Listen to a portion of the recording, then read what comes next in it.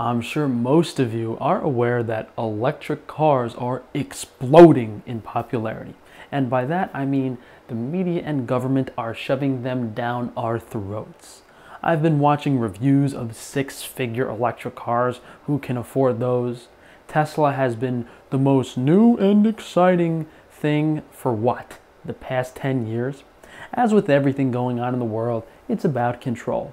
We made a video a little while ago where I tested the radiation levels in a Tesla and compared to a regular gas vehicle, you're being cooked in a microwave. Might as well take an x-ray every day. So not only are electric vehicles dangerous for your physical health, they also have technology that is being used to monitor and control us even more.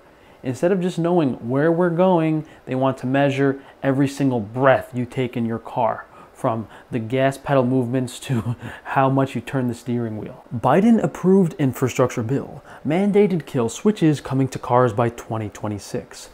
Deep within the Infrastructure Investment and Jobs Act that was signed into law by President Joe Biden is a passage that will require automakers to begin including what can be summarized as a vehicle kill switch within the operating software of new cars, which is described in the bill as advanced drunk and impaired driving prevention technology.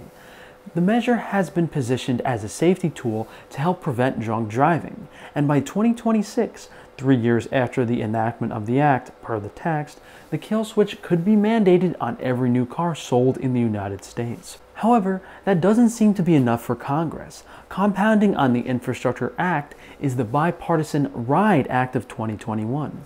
Per the bill, the proposed safety device will passively monitor the performance of a driver of a motor vehicle to accurately identify whether the driver may be impaired. The language of the RIDE Act bill states the following to require the Secretary of Transportation, acting through the Administrator of the National Highway Traffic Safety Administration, to prescribe a federal motor vehicle safety standard for advanced drunk and impaired driving prevention technology and for other purposes. It's so ridiculous they have the same playbook for everything. Oh, it's for your safety so your poor little family doesn't get hurt by the big bad drunk drivers.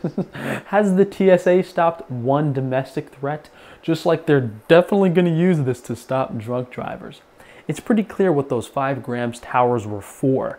They need the very powerful energy emission between the vehicles and whoever's sitting in these government offices watching people drive their cars. It's completely disgusting. In regards to the prevalence of these towers on every major roadway, I made another video that covered this extensively. Basically, used to be relatively free from high radiation levels while driving your car on the highways. Now it's the opposite. New York passes law that will ban all gas-powered car sales by 2035. Several local government agencies are required to work together to make that a reality. The move will help reduce the state's greenhouse gas emissions by 35% and help it achieve its climate targets, including an 85% reduction in greenhouse gas emissions by 2050. This is also happening in Canada, UK, as the New World Order psychos would love to say, global problems require global solutions. They manufacture the problem themselves, then create the solution. Zero emissions and any regulation around climate are completely fabricated guidelines being used to control you. It's like the government putting literal poison that is fluoride in your water and then saying that some made up amount is okay to consume. And they're changing vehicles even sooner. New vehicles must average 40 miles per gallon by 2026, up from 28 miles per gallon.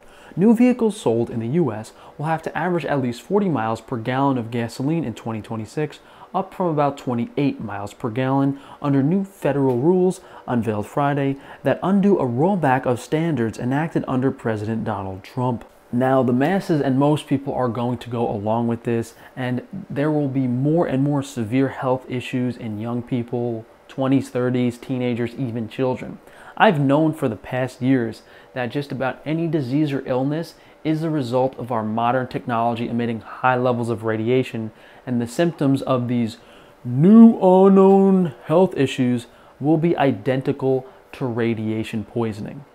If that's not crazy enough, try to keep up with the news in other countries. Sri Lanka crisis. 13 hour daily power cuts as country faces worst economic collapse since 1948.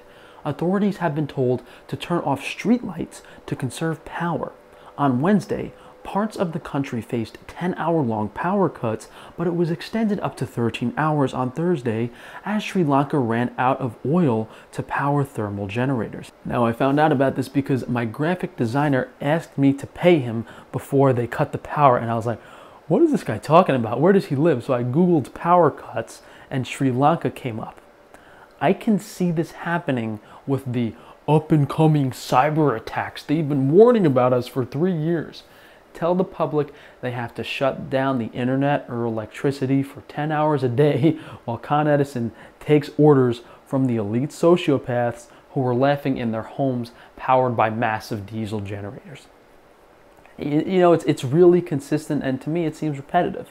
You know, they're badgering the masses with all this predictive programming so it becomes accepted as fact when it happens. You know, it's hard to believe that there are human beings that are evil enough to, uh, to do this to other people.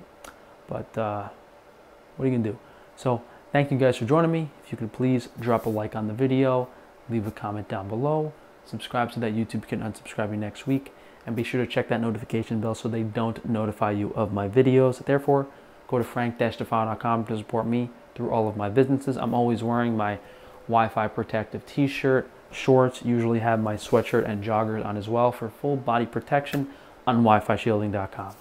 Thanks again for joining me, guys, and I'll see you for tomorrow. If they don't cut the power, ooh.